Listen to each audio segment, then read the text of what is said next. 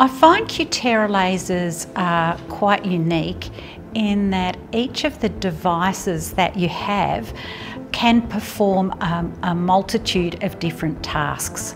I always say that lasers can treat red things, brown things and lumpy things.